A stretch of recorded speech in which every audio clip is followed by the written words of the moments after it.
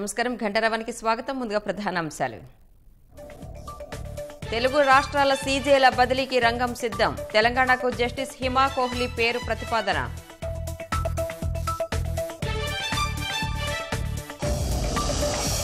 వనస్థలిపురంలో ఇవాళ రెండు పడక గదుల ఇళ్ళ ప్రారంభోత్సవం. మూడు వందల ఇరవై నాలుగు ఇళ్ళను పేదలకు అందచేయనున్న మంత్రి కేటీఆర్.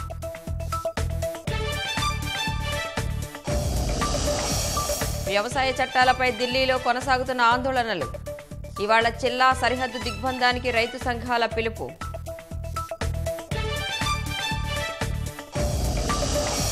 పిఎస్ఎల్వి సి ఫిఫ్టీ ప్రయోగానికి చురుగ్గా ఏర్పాట్లు. నేటి నుంచి కౌంట్ డౌన్ రేపు నింగిలోకి వాహన నౌక.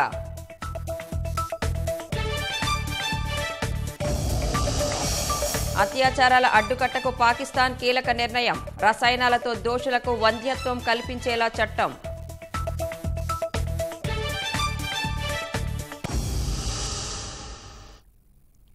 తెలుగు రాష్ట్రాల హైకోర్టు ప్రధాన న్యాయమూర్తులను ఏకకాలంలో బదిలీ చేస్తూ సుప్రీంకోర్టు కొలీజియం నిర్ణయం తీసుకున్నట్లు తెలిసింది. తెలంగాణ హైకోర్టు ప్రధాన న్యాయమూర్తి జస్టిస్ రాఘవేంద్ర సింగ్ చౌహాన్ను ఉత్తరాఖండ్ హైకోర్టుకు ఆంధ్రప్రదేశ్ హైకోర్టు ప్రధాన న్యాయమూర్తి జస్టిస్ జేకే మహేశ్వర్ని సిక్కిం హైకోర్టు ప్రధాన న్యాయమూర్తిగా పంపుతున్నట్లు సమాచారం. తెలంగాణ హైకోర్టుకు ఢిల్లీ హైకోర్టు సీనియర్ న్యాయమూర్తి జస్టిస్ హిమా కోహ్లీని ఏపీ హైకోర్టుకు సిక్కిం ప్రధాన న్యాయమూర్తిగా ఉన్న జస్టిస్ అరూప్ కుమార్ గోస్వామిని నియమించనున్నట్లు తెలుస్తోంది. తెలుగు రాష్ట్రాల హైకోర్టు ప్రధాన న్యాయమూర్తులిద్దరినీ బదిలీ చేసేందుకు రంగం సిద్ధమైంది. ఈ మేరకు సుప్రీంకోర్టు కొలీజియం నిర్ణయం తీసుకున్నట్లు సమాచారం. తెలంగాణ హైకోర్టు ప్రధాన న్యాయమూర్తి జస్టిస్ రాఘవేంద్ర సింగ్ చౌహాన్ రెండు వేల పంతొమ్మిది జూన్ ఇరవై మూడు నుంచి ఆంధ్రప్రదేశ్ హైకోర్టు ప్రధాన న్యాయమూర్తి జస్టిస్ జేకే మహేశ్వరి రెండు వేల పంతొమ్మిది అక్టోబర్ ఏడు నుంచి బాధ్యతలు నిర్వర్తిస్తున్నారు. తెలంగాణ హైకోర్టుకు జస్టిస్ ఆర్ఎస్ చౌహాన్ రెండో ప్రధాన న్యాయమూర్తి కాగా జస్టిస్ జేకే మహేశ్వరి విభజిత రాష్ట్రమైన ఏపీ హైకోర్టుకు తొలి ప్రధాన న్యాయమూర్తిగా సేవలందిస్తున్నారు. హైకోర్టు ప్రధాన న్యాయమూర్తులు న్యాయమూర్తుల బదిలీలు పదోన్నతులపై సుప్రీంకోర్టు కొలీజియం నిర్ణయం తీసుకున్న తర్వాత ధృవీకరిస్తూ తీర్మానం చేస్తుంది. తర్వాత అధికారికంగా వెబ్సైట్లో అప్లోడ్ చేయడం ఆనవాయితీగా వస్తోంది. అనంతరం ఆ సిఫార్సులను న్యాయశాఖ ఆమోదానికి పంపుతారు. న్యాయశాఖలోని డిపార్ట్మెంట్ ఆఫ్ జస్టిస్ కొలీజియం సిఫార్సులను న్యాయశాఖ మంత్రి ప్రధానమంత్రి పరిశీలన అనంతరం రాష్ట్రపతి ఆమోదానికి పంపుతుంది. ఆ తర్వాత న్యాయమూర్తుల బదిలీలు నియామకాలపై గెజిట్ నోటిఫికేషన్ జారీ చేస్తుంది. తెలంగాణ హైకోర్టు ప్రధాన న్యాయమూర్తిగా పదోన్నతిపై వస్తున్న జస్టిస్ హిమా కోహ్లీ ప్రస్తుతం ఢిల్లీ హైకోర్టులో సీనియారిటీ పరంగా రెండో స్థానంలో ఉన్నారు. పంతొమ్మిది వందల యాభై తొమ్మిది సెప్టెంబర్ రెండున ఢిల్లీలో జన్మించిన ఆమె ఢిల్లీ యూనివర్సిటీలో ఎల్ఎల్బి చేశారు. పంతొమ్మిది వందల ఎనభై నాలుగులో న్యాయవాదిగా నమోదయ్యారు. రెండు వేల ఆరులో ఢిల్లీ అదనపు న్యాయమూర్తిగా రెండు వేల ఏడులో శాశ్వత న్యాయమూర్తిగా నియమితులయ్యారు. అంతకుముందు పలు ప్రధానమైన ప్రజా ప్రయోజన వ్యాజ్యాల్లో ఢిల్లీ ప్రభుత్వం తరపున వాదనలు వినిపించారు. రెండు వేల ఇరవైలో ఢిల్లీ జ్యుడీషియల్ అకాడమీ చైర్పర్సన్గా హిమా కోహ్లీ నియమితులయ్యారు. మరోవైపు పంతొమ్మిది వందల అరవై ఒకటి మార్చి పదకొండున అసోంలోని జోర్హాట్లో జన్మించిన జస్టిస్ అరూప్ కుమార్ గోస్వామి పంతొమ్మిది వందల ఎనభై ఐదులో గువాహటి ప్రభుత్వ న్యాయ కళాశాల నుంచి పట్టా పొందారు. సివిల్ క్రిమినల్ రాజ్యాంగం ఉద్యోగ సేవలకు సంబంధించిన విభిన్న కేసులను వాదించారు. గువాహటి హైకోర్టులో రెండు వేల పదకొండులో అదనపు న్యాయమూర్తిగా రెండు వేల పన్నెండులో శాశ్వత న్యాయమూర్తిగా నియమితులయ్యారు. రెండు వేల పంతొమ్మిది అక్టోబర్ పదిహేనున జస్టిస్ గోస్వామి పదోన్నతిపై సిక్కిం హైకోర్టు ప్రధాన న్యాయమూర్తిగా బాధ్యతలు చేపట్టారు. అంతకుముందు రెండు వేల నాలుగు డిసెంబర్ ఇరవై ఒకటిన గువాహటి హైకోర్టు నుంచి సీనియర్ అడ్వకేట్ హోదా పొందారు. రెండు వేల పదకొండు నుంచి రెండు వేల పదమూడు వరకు నాగాలాండ్ రాష్ట్ర న్యాయ సేవా సంస్థ ఎగ్జిక్యూటివ్ చైర్మన్గా వ్యవహరించారు. అటు ఏపీ హైకోర్టుకు మరో న్యాయమూర్తిని నియమించాలని సుప్రీంకోర్టు కొలీజియం నిర్ణయించినట్టు తెలిసింది. కలకత్తా హైకోర్టులో రెండు వేల పదకొండు జూన్ ఇరవై ఏడు నుంచి శాశ్వత న్యాయమూర్తిగా ఉన్న జస్టిస్ జోయ్మాల్యా బాగ్చీని ఏపీ హైకోర్టుకు బదిలీ చేయాలని ప్రతిపాదించినట్లు సమాచారం.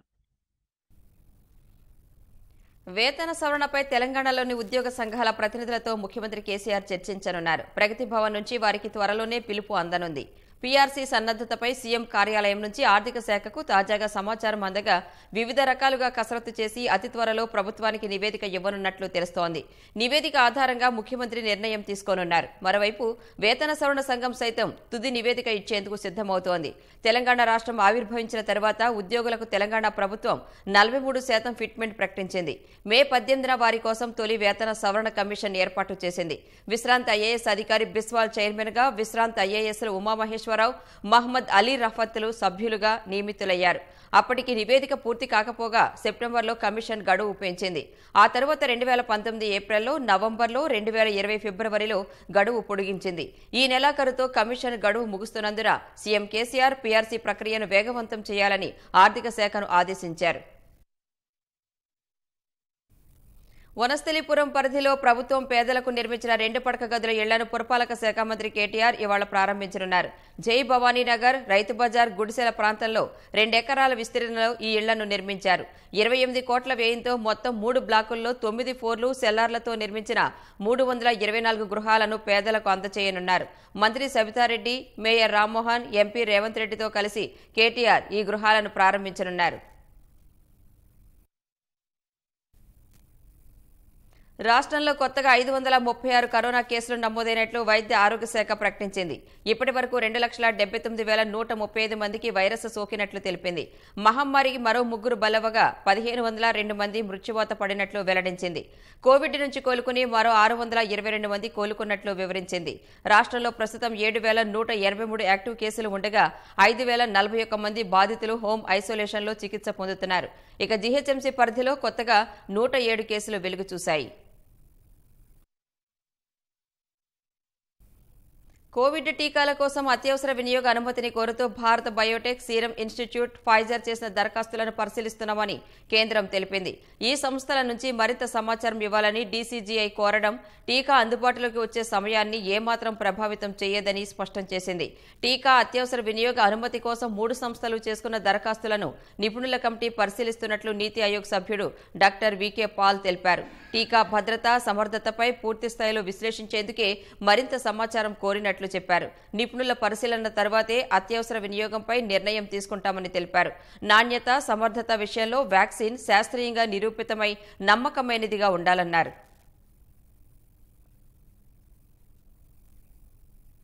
కరోనా వైరస్ను ఎదుర్కోవడంలో మోడెర్నా వ్యాక్సిన్ సమర్థంగా పనిచేస్తోందని అమెరికా ఆహార ఔషధ నియంత్రణ సంస్థ ఎఫ్డీఏ ప్రకటించింది.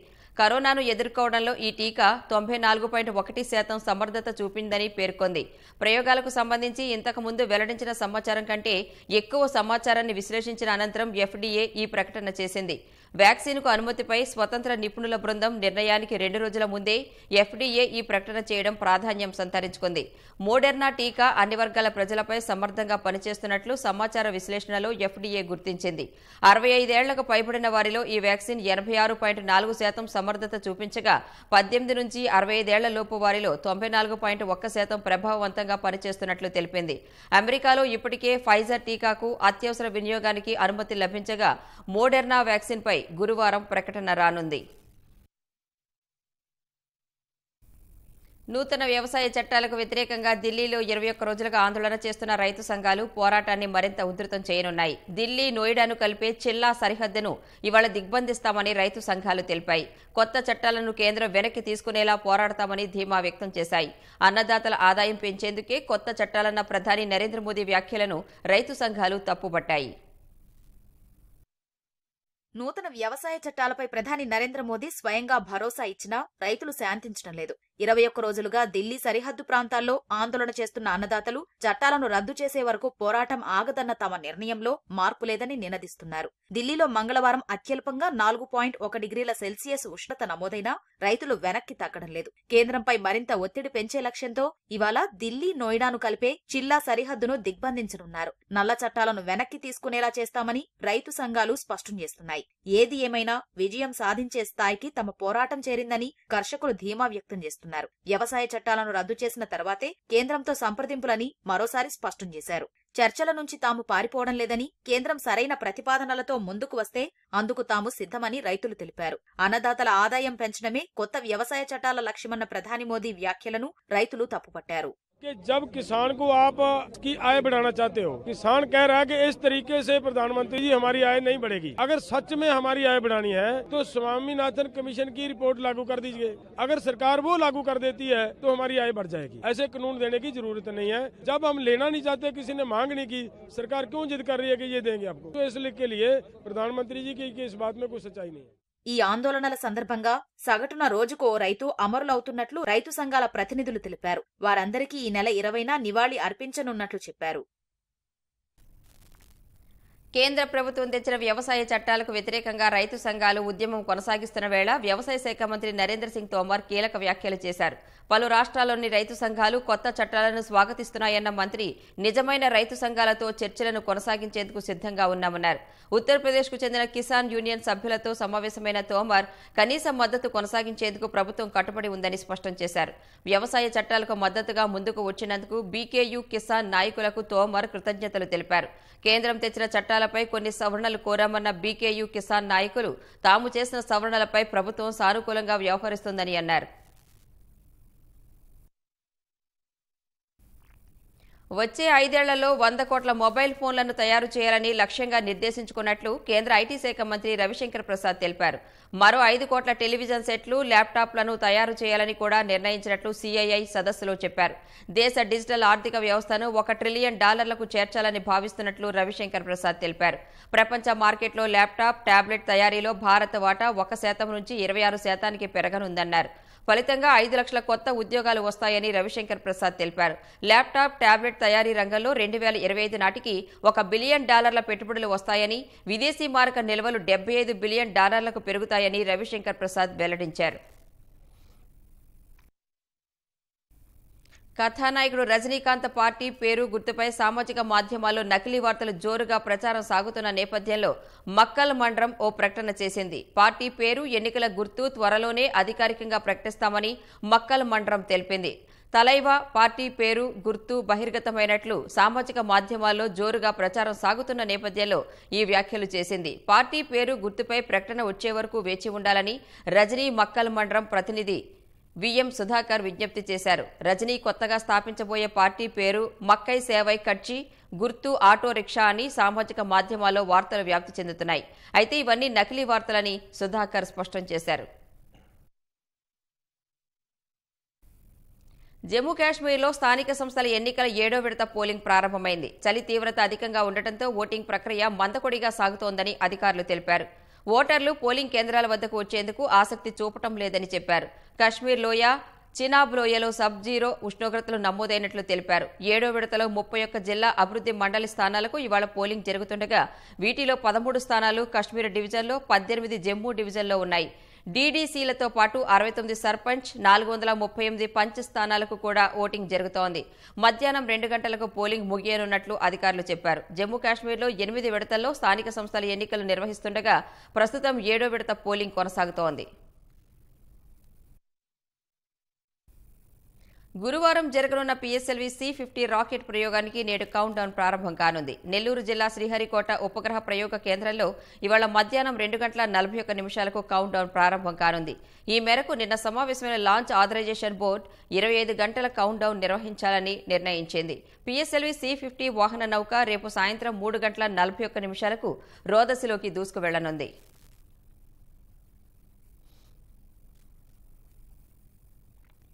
పోరాట సన్నద్ధతను మరింత మెరుగుపరుచుకునే దిశగా భారత నౌకాదళం కీలక నిర్ణయం తీసుకుంది. నాలుగు వందల యాభై కిలోమీటర్ల పరిధిలోని లక్ష్యాలను ఛేదించే ముప్పై ఎనిమిది బ్రహ్మోస్ సూపర్ సోనిక్ క్రూయిజ్ క్షిపణులను యుద్ధ నౌకలో మోహరించాలని నిర్ణయించింది. ఈ మేరకు రక్షణ శాఖకు ప్రతిపాదనలు పంపించింది. ఇందుకోసం నౌకాదళం పద్దెనిమిది వందల కోట్లు వెచ్చించనుంది. ఈ ప్రతిపాదనలకు త్వరలోనే ఆమోదం లభించగలదని నౌకాదళం ఆశాభావం వ్యక్తం చేసింది. విశాఖపట్నంలో రూపుదిద్దుకుంటున్న అధునాతన యుద్ధ నౌకల్లో బ్రహ్మోస్ క్షిపణులను మోహరించనున్నారు నౌకాదళం ఇప్పటికే ఐఎన్ఎస్ చెన్నై యుద్ధ నౌక నుంచి బ్రహ్మోస్ క్షిపణులను ప్రయోగాత్మకంగా పరీక్షించింది.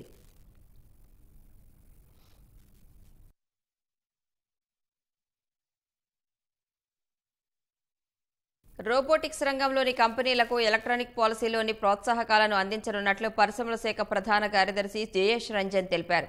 హైదరాబాద్లో ఆల్ ఇండియా రోబోటిక్స్ అసోసియేషన్కు ఆయన ప్రారంభించారు. రోబోటిక్స్లో మంచి ఉపాధి అవకాశాలు ఉన్నాయని వాటిని అందిపుచ్చుకోవాల్సిన అవసరం ఉందని పేర్కొన్నారు. హైదరాబాద్లోని రోబోటిక్స్ కంపెనీలు అంకురాలు ఓ సంఘంగా ఏర్పడి దేశవ్యాప్తంగా విస్తరించడం మంచి పరిణామమని అన్నారు. రోబోటిక్స్ సైతం ఎమర్జింగ్ టెక్నాలజీ అయినందున ఈ రంగంలోని వారికి ప్రోత్సాహకాలు ఇవ్వనున్నామని వివరించారు. హైదరాబాద్లో కూడా ఇప్పటికే కొన్ని కంపెనీస్ రోబోట్స్ తయారు చేయడం కానీ రోబోట్స్ని ప్రోగ్రామ్ చేయడం కానీ ఇట్లాంటివి చేస్తూ ఉన్నాయి. సో ఈరోజు వాళ్ళు అందరూ ఒక అసోసియేషన్ రూపంలో ముందుకి రావడం ఇది చాలా ఒక సంతృప్తికరమైన విషయం. అండ్ వాళ్ళు ఈ అసోసియేషన్ని హైదరాబాద్ వరకే తెలంగాణ వరకే పరిమితి కాకుండా దాన్ని ఒక ఆల్ ఇండియా అసోసియేషన్గా వాళ్ళు తీసుకువచ్చారు. సో మొత్తం భారతదేశంలోనే ఉన్నటువంటి రోబోట్స్ కంపెనీస్ని ఒకే వేదికగా తీసుకురావడానికి ఇది ఒక అసోసియేషన్ చాలా ఉపయోగ ఉపయోగంగా ఉంటుంది. ప్రతి ఒక్క రోబోటిక్ స్టార్టప్కి వాళ్ళకి కావాల్సిన ప్రతి ఒక్క resource starting from funding till components market place exports అప్పుడు ఏం కావాలి ఎలాంటి కాంపనెంట్స్ కావాలి ఇవన్నిటికీ రెగ్యులరైజ్ చేసి ఒక ప్లేస్లో అవైలబుల్గా చేస్తుంది ఐరాన్ ఆర్గనైజేషన్ అందరూ రోబోటిక్స్ అన్న వెంటనే ఉద్యోగాలు పోతుంది అన్ఎంప్లాయ్మెంట్ వస్తుంది అంటున్నారు. బట్ రోబోటిక్స్ ఏం ఉద్యోగాలు తీయదు. It will increase employment think. ఇంకా మనం హై స్కిల్ అయ్యే ఎంప్లాయ్మెంట్ చే పెరగడానికి ఛాన్సెస్ ఉంటుంది. జేఈఈ మెయిన్ నిర్వహణకు సంబంధించి జాతీయ పరీక్షల సంస్థ ఎన్టీఏ ఆరంభంలోనే విద్యార్థులను గందరగోళంలో పడేసింది. హడావుడిగా షెడ్యూల్ ప్రకటించి మళ్ళీ వెనక్కి తీసుకుంది.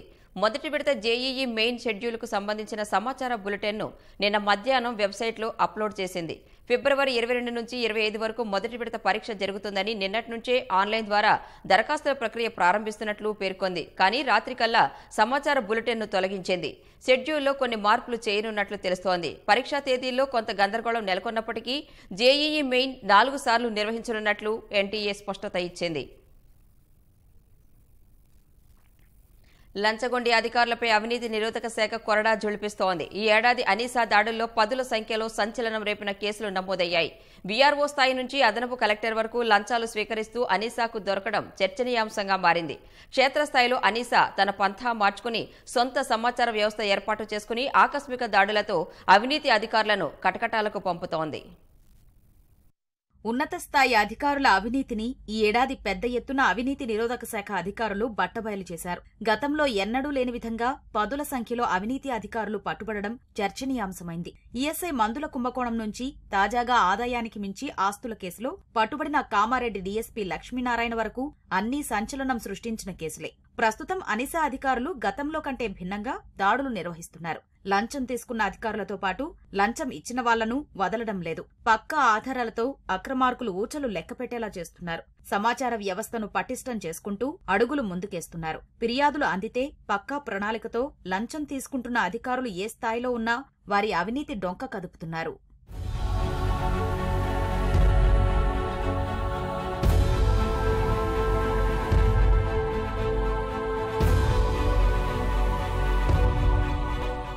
ఈ ఏడాది జనవరిలో జూబ్లీహిల్స్ ఇన్స్పెక్టర్ బలవంతయ్య ఎస్ఐ సుధీర్ రెడ్డి మోసం కేసులో నిందితుడి నుంచి లక్షన్నర లంచం తీసుకుంటుండగా పట్టుకున్నారు. జూన్లో బంజారాహిల్స్లోని భూ వ్యవహారంలో లంచం తీసుకున్న షేక్పేట ఆర్ఐ తహసీల్దార్ సుజాతను పట్టుకుని పదిహేను లక్షల రూపాయలు స్వాధీనం చేసుకున్నారు. విచారణలో భాగంగా సుజాతను అరెస్ట్ చేసి రిమాండ్కు తరలించారు. ఈ క్రమంలో ఆమె భర్త ఆత్మహత్యకు పాల్పడడం కలకలం రేపింది.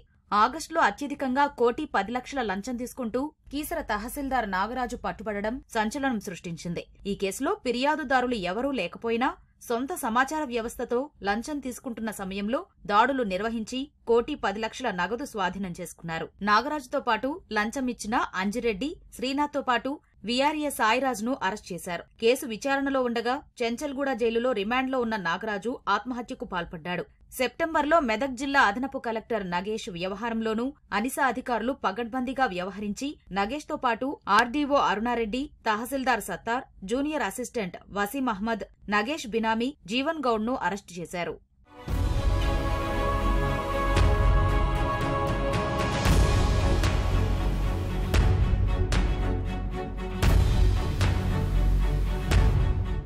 సెప్టెంబర్లో ఆదాయానికి మించి ఆస్తుల కేసులో మల్కాజ్గిరి ఏసీపీ నరసింహారెడ్డిని అనిసా అన్ని ఆధారాలతో పట్టుకుంది. ఆయనకు సంబంధించిన సుమారు డెబ్బై ఐదు కోట్ల విలువైన ఆస్తులు కనుగొన్నారు. ఇదే వ్యవహారంలో ప్రభుత్వ భూమిని ఏసీపీ కబ్జా చేసినట్టు గుర్తించిన అధికారులు మరో ఎనిమిది మందిని అరెస్ట్ చేశారు. భూమి విషయంలో నరసింహారెడ్డి తెర వెనుక ఉండి తతంగం నడిపినట్టు అనిసా తేల్చింది.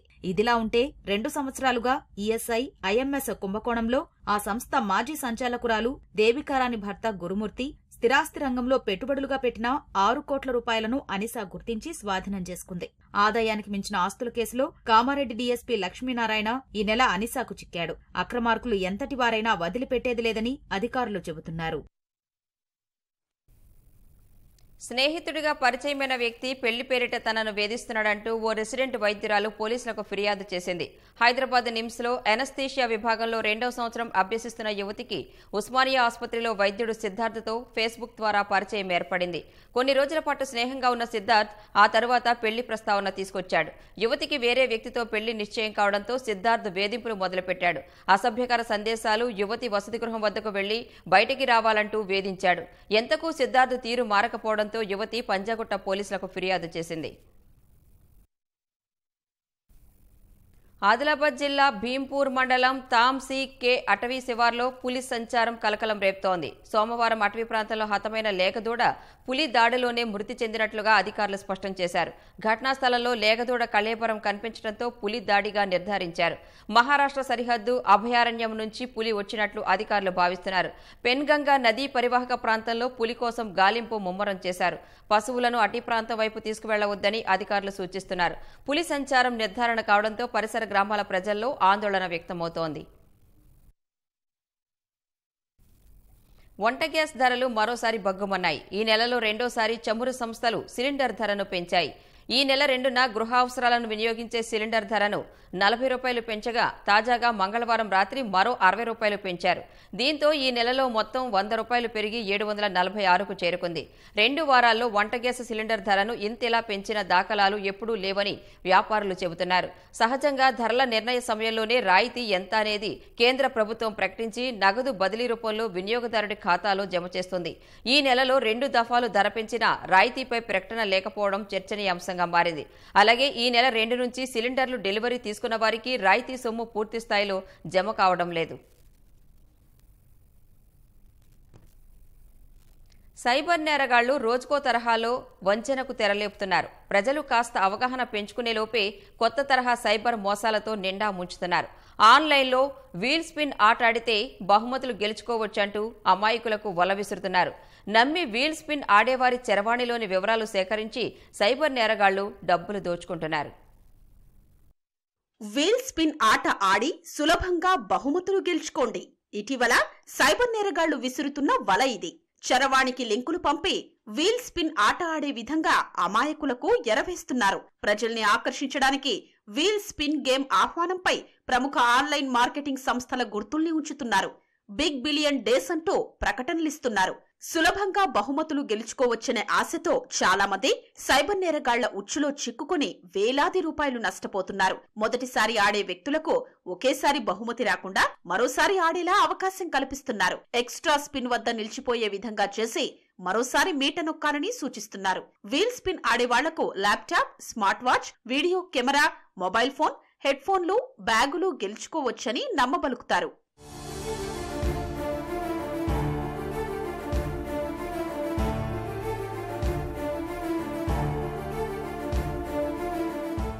ఒకవేళ ఏదైనా వస్తువు దగ్గర స్పిన్ నిలిచిపోతే ఆ వస్తువు దక్కించుకోవడానికి మీరు కొంతమందికి లింక్ పంపాలని నిబంధన విధిస్తారు. ఆ తరువాత మరో లింకును పంపిస్తారు. ఆ లింకు తెరిచి అందులో సూచించిన విధంగా ముందుకెళ్ళాలని నిర్దేశిస్తారు.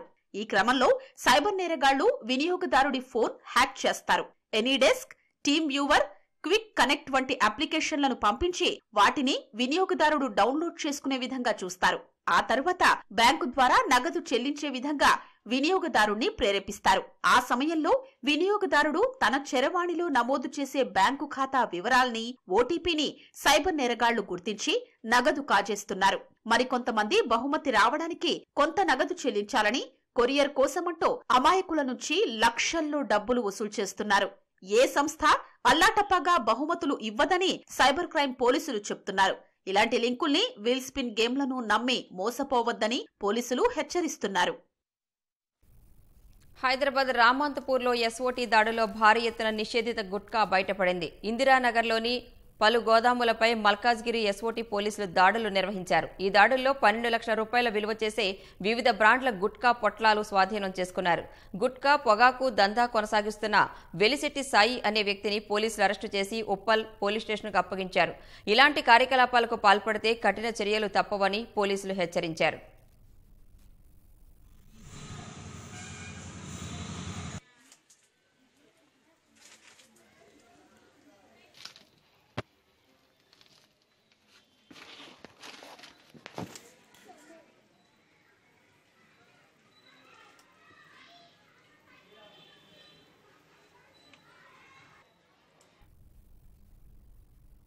అత్యాచారాలను అరికట్టే దిశగా పాకిస్తాన్ ప్రభుత్వం కీలక నిర్ణయం తీసుకుంది. దోషులకు వంధ్యత్వం కల్పించే కఠిన చట్టాన్ని అమల్లోకి తెచ్చింది. నవంబర్లో పాక్ మంత్రివర్గం ఆమోదించిన అత్యాచార నిరోధక అత్యవసర ఆదేశానికి పాక్ అధ్యక్షుడు ఆరిఫ్ అల్వీ ఆమోదముద్ర వేశారు. మహిళలు చిన్నారులపై అత్యాచారం కేసుల సత్వర విచారణ కోసం ప్రభుత్వం ప్రత్యేక న్యాయస్థానాలను ఏర్పాటు చేస్తోంది. నాలుగు నెలల్లో విచారణ పూర్తి చేసి దోషిగా తేలిన వ్యక్తికి రసాయనాల ద్వారా వ్యంధ్యత్వం కల్పిస్తారు. ఇలాంటి కేసులో నిర్లక్ష్యంగా వ్యవహరించే పోలీసు అధికారులకు మూడేళ్ళ జైలు శిక్ష జరిమానా విధిస్తారు. అమెరికా అధ్యక్ష ఎన్నికల్లో విజయం సాధించిన జో బైడెన్కు రష్యా అధ్యక్షుడు వ్లాదిమిర్ పుతిన్ ఎట్టకేలకు అభినందనలు తెలిపారు. ఎలక్టోరల్ కాలేజ్ అధికారికంగా ప్రకటించిన మరుసటి రోజు పుతిన్ అభినందనలు తెలిపారు. అధ్యక్షుడిగా ఎన్నికైన బైడెన్ అన్ని విషయాల్లో విజయం సాధించాలని ఆకాంక్షిస్తున్నట్లు రష్యా అధ్యక్షుడు వ్లాదిమిర్ పుతిన్ తన సందేశంలో పేర్కొన్నారు. రష్యా అమెరికా మధ్య భేదాభిప్రాయాలు ఉన్నప్పటికీ ప్రస్తుతం ప్రపంచం ఎదుర్కొంటోన్న సవాళ్ళను ఎదుర్కోవడంలో ఇరు దేశాలు ప్రత్యేక బాధ్యతగా ముందుకు వెళతాయనే నమ్మకాన్ని పుతిన్ వ్యక్తం చేశారు. అంతేకాకుండా సమానత్వ భావం పరస్పర గౌరవంతో ఇరు దేశాల ప్రజల ప్రయోజనాలతో పాటు అంతర్జాతీయ సమాజ శ్రేయస్సు కోసం సహకరిస్తామని తెలిపారు.